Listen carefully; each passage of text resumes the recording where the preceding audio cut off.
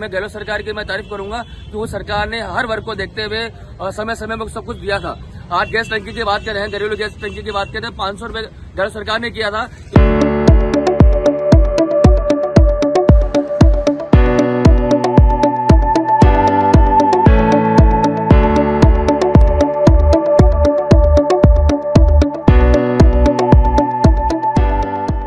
देखे कि आज बीजेपी ने जो बजट घोषित किया है घोषणा की है, उसके अंदर ओनली घोषणा का कुछ नज़र नहीं आ रहा है। और अजमेर को तो ऐसा कुछ दिया ही नहीं गया है, जिसका हम कोई वो बात करें। अगर बजट होता है तो सर वर्ग के लिए होना चाहिए था, और मैं गहलोत सरकार की मैं तारीफ़ करूँगा कि वो सरकार ने हर वर्ग को देखते हुए समय समय में सब कुछ दिया था। आज गैस टंकी की बात कर घरेलू गैस टंकी की बात कर पाँच सौ रुपये गहलोत सरकार ने किया था। इनको बस ओनली उस योजना को कंटिन्यू किया है।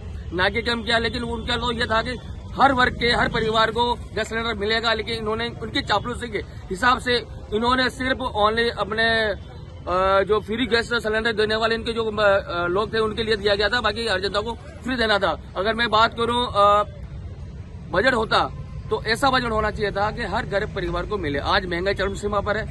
अगर मैं बात करूँ इसके आदरणीय नरेंद्र मोदी जी की तो 2014 से लेकर अभी तक सिर्फ़ जुमलों के अलावा कुछ नहीं किया है। जुमलों की सरकार है और ये सामने वर्तमान में लोकसभा चुनाव है। उसी को देखते हुए इन्होंने बजट किया है ओनली जुमलेबाजी की है और लॉलीपॉप दिया है जनता को। अगर कांग्रेस सरकार ने कोई योजना दी थी, पाँच योजना ऐसे धरातल पर लेके आए थे जो हर वर्ग को फ़ायदा देती। और सारी योजनाओं को इन्होंने कहा कि लॉलीपॉप दे रही है सरकार। राज्य सरकार लॉलीपॉप दे रही है तो आप क्या कर रहे हो? आपने हर समुदाय को ढंग से बजट क्यों नहीं दिया? आज गरीब परिवार गरीब होता जा रहा है, अमीर परिवार अमीर होता जा रहा है। उसमें अंकुश लगाना चाहिए था लेकिन हमने ऐसा कुछ नहीं किया। ओनली अपने चुनाव जीतने के लिए अपने आने वाली सरकार बचाने के लिए ओनली ये काम किया उन्होंने। और कुछ नहीं किया जनता के लिए कुछ नहीं किया उन्होंने। हमें उसका विरोध करते हैं। बजट ऐसा होना चाहिए था सबको फ़ायदा मिले। मुकेश सबलानिया